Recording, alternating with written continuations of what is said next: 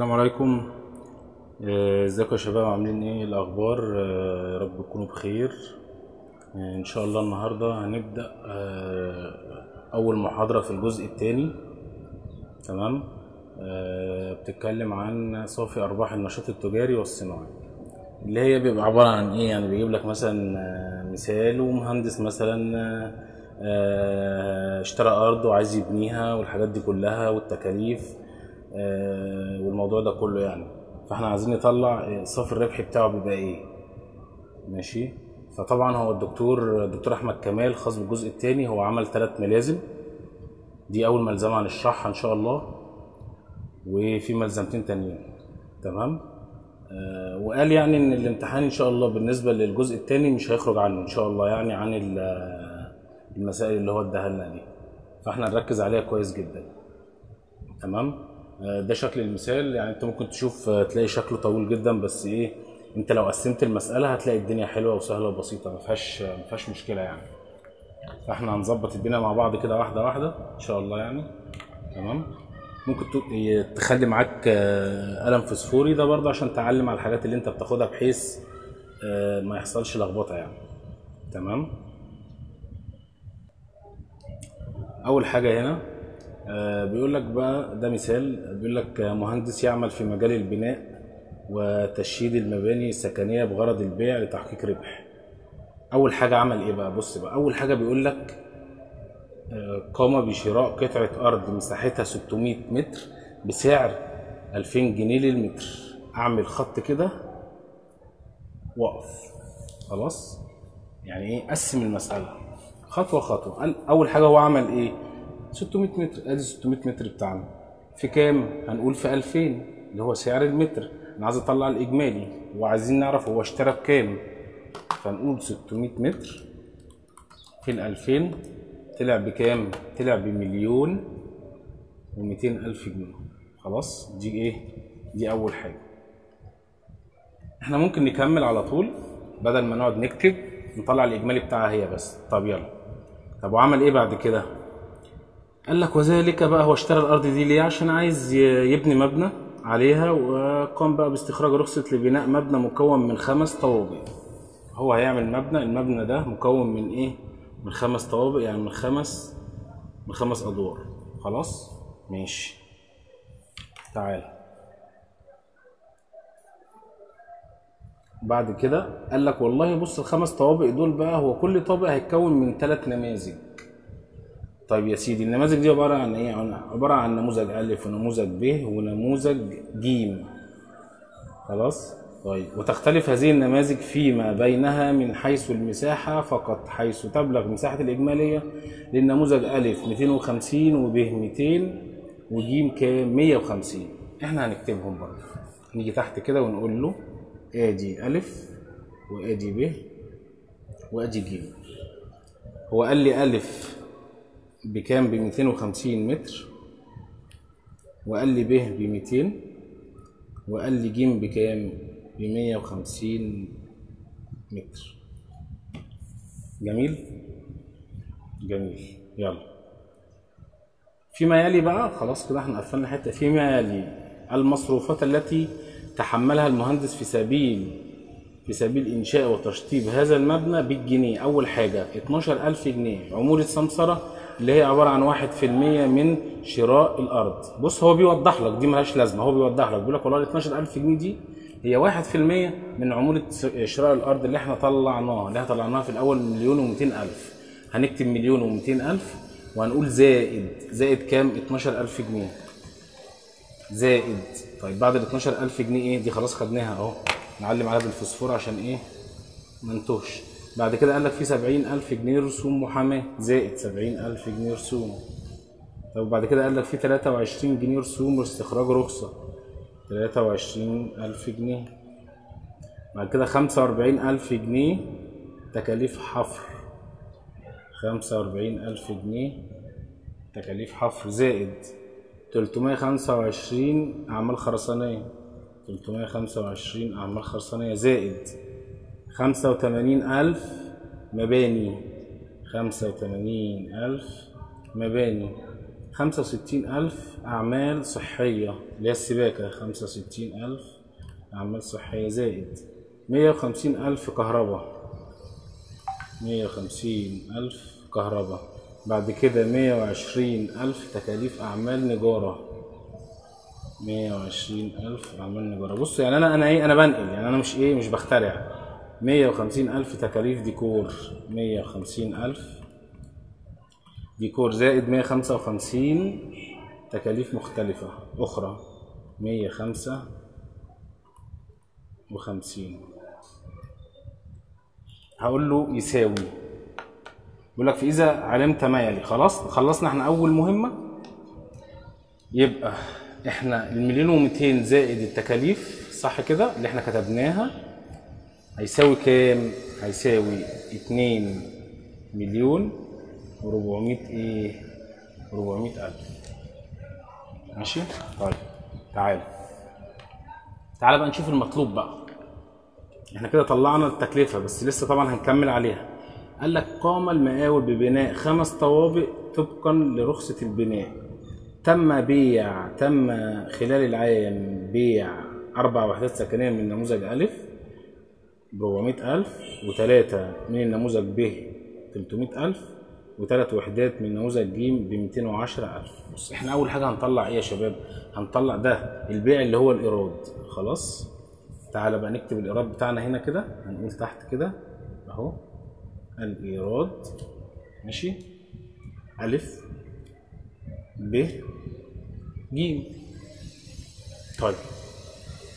والله هو ألف قال لك آه آه، باع كام؟ باع أربع وحدات ب 400000 يبقى أنا أقول كده أربع وحدات في 400000 طيب ب تلات وحدات ب 300000 أدي تلات وحدات في 300000 وجيم تلات وحدات في كام؟ في 210000 خلاص؟ نجمع. ده كده أربعة في أربعة بمليون وستمائة ألف وهنا تلاتة في تلاتة بتسعمائة ألف وهنا آه، تلاتة في ميتين وعشرة بستمية وتلاتين ألف جنيه. نجمع. مليون وستمية زائد تسعمائة ألف زائد ستمية وتلاتين طلع بكام؟ تلاتة مليون مية وتلاتين ألف جنيه ده إيه؟ ده الإيراد عشان هو ساعات ممكن يجيب لك سؤال يقول لك هي ال- الإيراد أو المبيعات اللي باعها كام؟ أنت هتقول له طلع والله. الحاجات اللي باعها الوحدات اللي باعها ب 3 مليون 130 ألف طب يلا بينا بص هو طالب إيه يعني اللي هو طالبه هو طالب نقطة واحدة بس صافي الربح الخاضع للضريبة. انت عشان تطلع الصافي الربح لازم تعمل الخطوات دي كلها اللي إحنا شغالين فيها. جميل؟ طيب يلا بينا. أول حاجة أول حاجة إحنا هنعمل إيه؟ هنجمع الامتار 250 زائد 200 زائد 150 هيبقى إجمالي الشقق كام؟ أو الطابق 600 متر خلاص؟ تمام طلعت 600 متر طيب أول حاجة أنا عايز أطلعها عايز أطلع إجمالي مساحة العقار كام؟ يعني دي مساحتها كام؟ هضرب الخمس طوابق في 600 متر في الإجمالي بتاع الشقق يبقى أنا هقول له كده خمسة في 600 بكام؟ ب 3000 متر جميل؟ ماشي هاخد بقى ال 3000 متر دول وهم قاسمهم على إجمالي التكاليف عشان يطلع لي تكلفة المتر الواحد بكام؟ أقول له والله 2 مليون و400 ألف على تلات تلات آلاف طلع ب 800 جنيه ده للمتر تكلفة تمام؟ ماشي. هنعمل إيه؟ كده إحنا طلعنا الإيراد. محتاجين دلوقتي نطلع التكلفة علشان نعرف الصافي كام. طيب تعالى لي كده. آدي الته دي يعني تكلفة. وأنت عندك كام؟ عندك في تلاتة. ألف ب ج. تلات إيه؟ تلات وحدات. طيب بص يا باشا أول حاجة هتعملها هناخد دول كده زي ما هم. دي اللي هي مساحة الوحدات اللي اتباعت. أدي أربعة ادي تلاتة ادي تلاتة. في في في. خلاص؟ طيب هي مساحة كل وحدة من دول إيه؟ أنا عندي فوق أهي. صح كده؟ يبقى هقول أول حاجة 250 بعد كده 200 بعد كده هقول إيه؟ 100 150 آه، تمام ماشي هنعمل إيه بقى؟ إحنا خدنا اللي هي ال- الوحدات صح كده ألف كانت أربع وحدات وب كانت تلاتة وج كانت تلاتة إيه اللي هنعمله؟ والله هناخد التكلفة اللي إحنا طلعناها للمتر الواحد دي هنا وهنوزعها على كل إيه؟ كل وحدة. ادي في 800 وادي في 800 ماشي؟ يلا نضرب. ادي أربعة في 250 في 800 طلعت بكام؟ ب 800 800 ألف. وبعد كده تلاتة في 200 في 800 طلعت بكام؟ بربعمية وتمانين ألف. بعد كده تلاتة في مية وخمسين في تمنمية طلعت بكام؟ طلعت بتلتمية وستين ألف جمع دول ربعمية وتمانين ألف زائد تمنمية طلع بمليون ستمية وأربعين ألف جنيه طيب أنا عشان أطلع مجمل عشان أطلع إيه؟ مجمل الربح صح كده؟ أنا عشان أطلع مجمل الربح بعمل إيه بطرح بطرح الإيراد ناقص التكاليف يبقى أقول 3 مليون 130 ألف اللي هو الرقم ده ناقص الرقم ده. الناقص كام؟ مليون 640 طلع مليون مليون 490 إيه؟ 90 ألف. طيب ده مجمل الربح. هو هنا قال لك أنا عايز صافي الربح. طيب تعالى كده نشوف بص بقى إحنا بعد ما خدنا الحتة دي صح كده؟ خلاص؟ طيب إحنا دي بقى. علما بأن المصروفات البيعية والإدارية التي أنفقها أربعين ألف. بص أي مصاريف أي مصاريف بيعية إدارية إعلانات الحاجات دي كلها دي بتطرح في الآخر خالص. يبقى أنا هقول له كده. آه المصاريف أهي المصاريف الإدارية كام؟ أربعين ألف جنيه. هنقول ناقص أربعين ألف جنيه. هيطلع كام يا باشا؟ مليون ربعمية وخمسين ألف جنيه. وده الصافي وده الصافي بتاعك. خلي بالك في البابل. بص هو برضو بيلعب بيك. ليه؟ إداك إجابة اللي هي مليون ربعمية وتسعين اللي هو مجمل الربح. يعني لو قال لك أنا عايز مجمل الربح هتختار اللي هي مليون 490 لو قال لك أنا عايز أهو الصافي ده الصافي. أهو. صافي الربح. هنختار إيه؟ مليون ربع مليون 450 طيب. خلي بالك. في إجابة ألف. جايب لك إيه؟ جايب لك 2 مليون 400 جايب لك إجمالي التكاليف. اللي هي كام؟ 2 مليون و400 في امتحان بيجيب لك الثلاث أسئلة دول. بيقول لك إجمالي التكاليف كام؟ وبيقول لك إجمالي المبيعات كام اللي أنت بعتها؟ والمجمل الربح كام والصافي كام؟ على حسب. فأنت تشوف اللي, هو طالبه منك إيه وتقراه كويس وتعرف هو طالب منك إيه. تمام؟ كده ده أول مثال آه، خلص. تمام؟ هندخل على المثال الثاني إن شاء الله اللي في نفس الملزمة. ده المثال رقم اتنين. المثال آه، التاني ده ده أصغر آه، أصغر من التاني. تمام؟ التاني كان طويل شوية ده صغير. أول حاجة أهو. قال لك اشترى اشترى مقاول قطعة أرض. مساحتها 1000 متر بسعر 500 إحنا خلاص بقى عرفنا. هن- هنقول 1000 في كام؟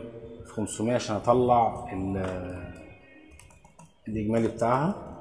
طلع بكام؟ ب 500000 ادي 500000 جنيه. خلاص؟ طب تعال. قال لك إحنا ممكن ناخدها على طول. يبقى إحنا كده خلصنا أول جزء. قال لك وذلك لتقسيمها لثلاث قطع متساوية بعد استبعاد 25% من مساحة الأرض. خليها دلوقتي دي هنرجع لها. وبلغت تكاليف التمهيد والتسوية 800 ألف جنيه. هقول له زائد 800 ألف جنيه. أهو زائد تاني. وهات لي الهايلايتر عشان نعلم. خدنا دي خلاص. وتكلفة تكلفة المرافق 200 ألف جنيه. أهو. زائد 200 ألف جنيه. وتكلفة الإعلان آه بص بقى إحنا قلنا أي إعلان أي إعلان. تكلفة الإعلان دي 20 ألف جنيه دي خليها لوحدها دي هنحتاجها في الآخر. خلاص؟ طيب. هنقول يساوي طلع كام؟ طلع مليون وخمسمائة ألف. يبقى إحنا كانت التك- التكاليف بتاعتنا كانت مليون يساوي كام؟ آدي مليون و 500 ألف ماشي؟ طيب تعالوا ناخد الحتة اللي فوق اللي إحنا قلنا نسيبها أهو قال لك وذلك تقسيم ثلاث قطع متساوية آه، بعد استبعاد 25% هو عمل إيه؟ هو بعد بعد قال لك والله أنا آه، معايا 1000 متر أنا عايز أشيل منهم 25% آه، شوارع بقى كده أي حاجة يعني. تمام؟ فهي المساحة الكلية بتاعت حضرتك كام؟ 1000 متر صح؟ طيب. إحنا ممكن نعمل كذا حاجة عشان نشيل 25% أنا هقول له يا إما 1000 متر في 25% تمام؟ هيطلع كام؟ ادي 1000 في 25 في المية. 250 للمتر دي الايه؟ القطعة. هو قال لك كام؟ قسمها لثلاث قطع. هقول له في ثلاثة. هيطلع بكام؟ ب 750 متر. خلاص؟ يبقى أنا كده عندي المساحة اللي هشتغل عليها الجديدة اللي هي 750 متر. طيب. 750 متر. ماشي؟ طيب. هقول له على أول حاجة. على الثلاث قطع 750 على الثلاث قطع هيبقى إيه؟ هيساوي 250 متر دي للقطعة الواحدة هتاخد ال 750 ونقوم قاسمينها على المليون ونص أدي مليون ونص على 750 يبقى يبقى تكلفة المتر تكلفة المتر كام؟ ب 2000 جنيه خلاص؟ طيب هنعمل إيه؟ هنا قال لك فإذا علمت. بعد ما نخلص بنروح نشوف بقى فإذا علمت أن الممول باع من هذه الأرض قطعتين بسعر كام؟ 2800 للمتر المربع. تمام؟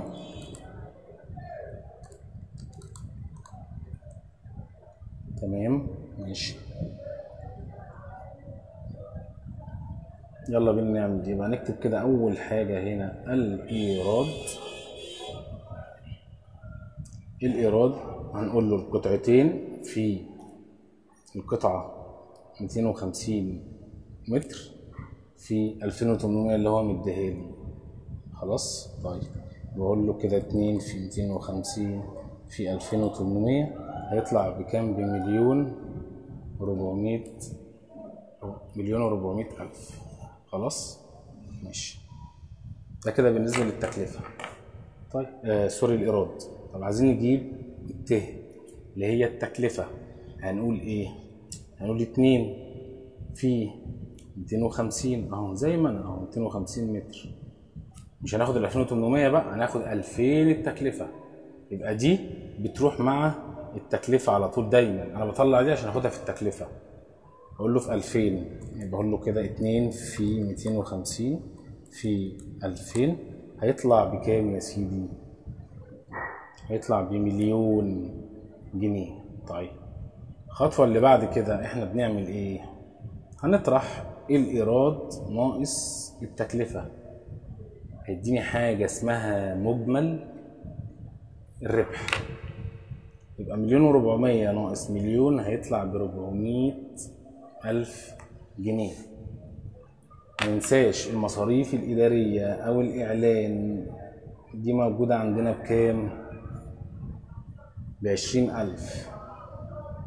تمام؟ يبقى هقول له كده ناقص عشرين ألف. الصافي بتاعنا هيطلع كام؟ تلتمية وتمانين ألف جنيه. خلاص؟ آه. هو طلب منك إيه؟ الصافي. فالصافي عندك تلتمية وتمانين ألف جنيه. ده كده تاني مسألة خلصناها. بالنسبة للمباني آه، ده سؤال تاني مختلف. بيتكلم عن إيراد المنشآت الصغيرة آه، الحجم الفئة الأولى. تمام؟ ده القانون بيقول لك المبيعات بيساوي صافي المشتريات زائد آه، صافي المشتريات في نسبة الربح. يقول لك يستخدم هذا القانون في حالة لو النسبة ربح من التكلفة. طيب. أو صافي المشتريات تكلفة المبيعات في 100 على مكمل نسبة الربح يستخدم في القانون ده لو سعر البيع خلاص؟ يعني لو سعر البيع 10 آه، على 100 لو آه، لو في السؤال من ثمن البيع ده 10 على 90 لو التكلفة 10 على 100 خلاص؟ انت احفظها كده. قال لك بعد كده لما بتطلع والله بتطرح منه حاجة اسمها صافي المشتريات أو تكلفة المبيعات هيديك حاجة اسمها مجمل الربح. بعد كده بنشوف لو في مصاريف إدارية أو عمومية هنطرحها برضو. والمصاريف بيقول لك المصاريف الإدارية والعمومية غير غير المؤيدة بالمستند. دي بتقارن مع الحد الأقصى ب 7% يعني هو قايل لك مثلا آه، لو قال لك المستندات دي غير مؤيدة هنضربها في 7% تمام؟ المصروفات الإدارية والعمومية العمومية المؤيدة بالمستند أهي ويختار الأقل. تشوف إيه الأقل وتاخده وتطرحه. يعني لو انت عندك اداك 30000 جنيه مثلا مصاريف عمومية قال لك بس المستندات دي غير غير إيه؟ غير مؤيدة. خلاص؟ انت بتاخد المجمل الربح بتاعك بتضربه في النسبة وتشوف فين الأقل فيهم وتقوم واخده وتحطه وتطرحه من الإجمالي. ماشي؟ طيب. مثال توضيحي. تعال نشوف المثال ده كده. أنا هحله لكم هحله لكم بطريقة سهلة جدا. سيبكم إيه من الكلام ده كله. بص يا سيدي. هنا بالنسبة للسؤال ده أنا أول حاجة هبص عليها أول حاجة هبص عليها هروح أجري على النسبة وأشوفها. هي النسبة من ثمن البيع ولا من التكلفة؟ قل من ثمن البيع يبقى إيه؟ يبقى 10 على 90 يبقى أنا شغلي كله هيبقى على 10 على 90 طيب. بص يا سيدي أنا ممكن أعملها من غير آه، مكتب. قال لك بلغت مشترياته كام؟ 900000 ادي 900000 بتوعنا. ماشي؟ طيب. رد للممول ما قيمته 45000 مردودات بتطرح. أدي 45000 يساوي يساوي كام؟ الرقم ده. بعد كده قال لك باع الباقي بهامش كام يا باشا؟ عشرة في المية من ثمن البيع. يبقى أنا هقول له كده في عشرة على تسعين. طلع بكام يا سيدي؟ طلع بخمسة. وتسعين ألف جنيه. طيب. قال لك بقى وهناك مصروفات عمومية مؤيدة بالمستندات تلاتين ألف جنيه. يبقى أنا هقول له كده ناقص تلاتين ألف جنيه. أهو ناقص تلاتين ألف جنيه. طلع بكام؟ طلع بخمسة وستين ألف جنيه. كده اتحلت خلاص المسألة. وهم مختار إيه؟ خمسة وستين ألف جنيه. ماشي؟ طيب.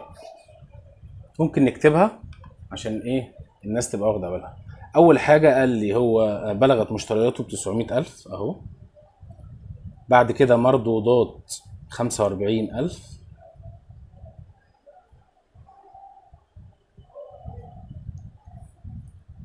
طلع إيه دي تسعمية ألف ناقص خمسة وأربعين ألف طلع بكام؟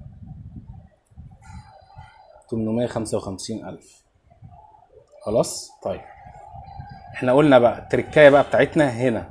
بنعمل إيه؟ بنشوف هو تمن بيع ولا تكلفة. لو تمن بيع هنقسم أو هنضرب في عشرة على تسعين. خلاص؟ أهو. يبقى أقول له والله الرقم ده في عشرة على تسعين طلع بكام؟ طلع بخمسة وتسعين ألف جنيه. نطرح منه المصروفات. ده المجمل. خلاص؟ طيب عايز أطلع ال- الصافي ادي 30000 جنيه بتوعنا. هقول له ناقص والله 30000 جنيه.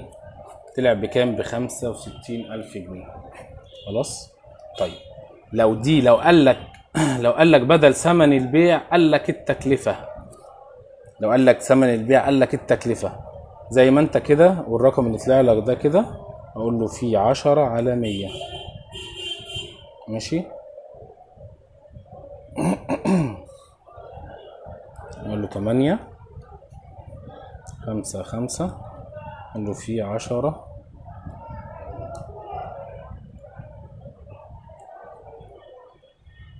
طلع بكام؟ ده لو هنا لي التكلفة بقى. يبقى أنا هعمل عشرة على مية. خلاص هيطلع لي. هيطلع لي هنا. كام؟ أدي أهو. ماشي. تمن تلاف خمسمية خمسة وتمانين ألف وخمسمية. خلاص؟ طيب هنطرح منهم التلاتين ألف. ناقص أقول له التلاتين ألف. طلع كام؟ ألف وخمسمية. بص مديها لك هنا برضه. فأنت ركز في الحتة دي جدا. اعرف لأن أنت ممكن آه، وأنت شغال تقوم قاسم تقوم ضارب في عشرة في المية على طول. فتلاقي ألف وخم... الله إيه ده؟ ده رقم موجود. لا هتطلع غلط. فأنت احفظها. لما يقول لك ثمن بيع هعمل إيه؟ يبقى هقول له هضرب فيه عشرة على تسعين. طب لما يقول لي تكلفة هضرب في عشرة في المية على طول. خلاص احفظ دي. عشان هو يعني تسعين في المية آه، إن شاء الله السؤال ده هيجي. لأن هو طبعا في الجزء التاني لغى حاجات كتير بصراحة كتر خيره الدكتور يعني يسلم فأكيد هيزود حاجات تانية يعني. ماشي؟ تعالوا نشوف بقى مسألة تانية برضو عن نفس ال- الجزء. بص هو ممكن عشان دي برضو الناس اللي بتتلخبط في الحتة دي. بص أنت تعمل إيه يعني؟ أول لما يقول لك تكلفة تكلفة هو كده كده اوريدي تكلفة. فأنا هضرب في 10% على طول. تكلفة هضرب في 10% طب لو تمن بيع ها؟ يعني دي أنا إيه جات لي فكرة كده. لو جات لي تمن بيع لا أنا هحاول أطلع تكلفة منها. اللي هي إيه؟ يبقى 10 على 90 ده تمن البيع بتاعه. خلاص؟ طيب. لو تكلفة زي ما هي هي تكلفتها مش هاخد منها تاني مش هنقص منها. لا. هي في 10% على طول. لو قال لي تمن بيع لا تمن بيع لا أنا هطلع منه. بقول له 10 على 90 ماشي؟ تعالوا نشوف السؤال ده برضو لذيذ. اهو. ماشي؟ طيب بص بقى دي تتحل بالآلة على طول من غير ما تمسك أي حاجة. قال لك ممول يمتلك منشأة صغيرة من الفئة الأولى ويستخدم على مدار العام عشر عمال ملناش دعوة بيه ويتعامل في سلع غير مسعرة تسعير جبريا ويبلغ متوسط مبيعاته اليومية 2000 جنيه. أقول له 2000 في. ويبلغ عدد أيام العمل بعد استبعاد كذا كذا كذا 300 يوم. أقول له في 300 يوم. في. وقال لك في الآخر معدل 12 إيه في المية عايز الصوفي أقول له والله في 12 في المية. طلع بكام؟ ب 72 ألف جنيه. خلصت المسألة خلصت. ممكن يجيب ده كمان. جميل؟ طيب. يبقى أنا بعمل إيه؟ أنا باخد اللي هي مبيعاته اليومية أقوم ضاربها في عدد الأيام أقوم ضاربها في النسبة. بس ما بعملش حاجة أكتر من كده. هو ده اللي بتاعي تمام؟ كده إحنا خلصنا أول ملزمة من الجزء التاني. هيبقى معانا إن شاء الله ملزمتين تانيين إن شاء الله. آه، يعني هنعمل فيديو تاني إن شاء الله عن المهن الحرة. يبقى الفيديو اللي جاي إن شاء الله هيتكلم عن إيه؟ عن المهن الحرة. وأنا بأكد تاني إن الدكتور قال الجزء التاني هيجي من ثلاث ملازم دول اللي أنا بشرح منهم دول. مش هيطلع منه الامتحان بالنسبة للجزء التاني. أما الجزء الأول فلنا الله فيه. مش عارفين هنجيب فيه إيه لأن الدكتور غالبا مش عارف كان يعني كان كان بيدينا حاجات تانية. المهم فإحنا هنركز على الملزمة جدا نحفظ المسائل بتاعتها زي اسمنا كده عشان لو جالك أي سؤال تبقى أنت تمام فيه. ماشي؟ خلاص. إحنا خدنا إيه النهارده بقى؟ هقول لك إحنا خدنا إيه يا سيدي إحنا خدنا إيه النهارده؟ خدنا آه، صافي أرباح النشاط التجاري والصناعي. اللي هو بيتكلم عن إيه؟ آه، صافي أرباح اللي هي شراء وتشييد العقارات اللي أنا لو هبني عقار هبني شقة الكلام ده كله. بنعمل إيه؟ خدنا المثال ده وخدنا إزاي بنحله وطريقته. ماشي؟ نركز عليه برضو المثال ده. ده أول مثال. بيتكلم بقى إن هو إيه؟ مديك بعض التكاليف ومديك سعر ال الم- آه، سعر المتر الواحد ومساحة الجل- المتر الكلية. فبتضربهم بيديك الإجمالي. بعد كده بتطلع التكاليف بتاعتها وتبدأ بقى إيه تحسب زي ما إحنا عملنا. خدنا تاني مثال برضو ده بيتكلم خد قطعة أرض فاضية وبدأ يوزعها وعرف تكاليفها كام ودي خدناها تمام وشرحناها إزاي. آه، تالت حاجة خدناها برضو آه، إيراد المنشآت الصغيرة تمام اللي هو السؤال اللي إحنا آه، شرحناه اللي هو ممول بقى منشأة صغيرة بتتعمل إزاي؟ إحنا قلنا التركاية بتاعتها لو قال لك تمن بيع بنقسم عشرة على تسعين. لو قال لك تكلفة بنضرب في عشرة في المية على طول. وادي ال- ال- المثال ال- الرابع والأخير من ملزمة النهاردة. قال لك ممول بقى يمتلك منشأة صغيرة. المثال ده حلو قوي. إحنا بناخد إيه؟ بناخد أول حاجة بناخد مبيعات اليومية. بنقوم ضاربينها في عدد الأيام. ونقوم ضاربينها في النسبة. بيطلع لي الناتج ده. تمام؟ كده إحنا خلصنا آه، أول ملزمة في الجزء الأول. إن شاء الله على خير. أشوف يعني ممكن بكرة أو النهاردة لو عرفت أعمل لكم فيديو تاني. ده هيبقى بيتكلم عن صافي إيراد المهن الحرة. وبعد كده هيبقى في آخر فيديو إن شاء الله هو صافي إيراد الثروة العقارية. تمام؟ آه، أشوفكم على خير إن شاء الله. ولو ال- الفيديو عجبكم يعني اكتبوا لي في الكومنتات كده. ودعوة حلوة منكم. وإن شاء الله ربنا يوفقنا جميعا. والسلام عليكم.